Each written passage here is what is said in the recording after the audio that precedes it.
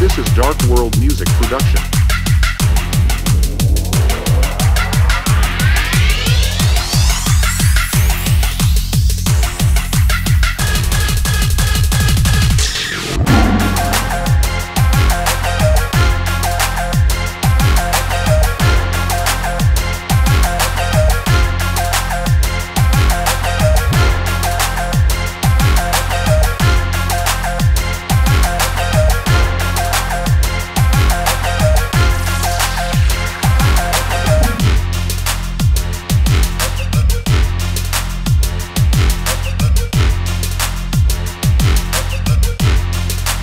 This is Dark World Music Production.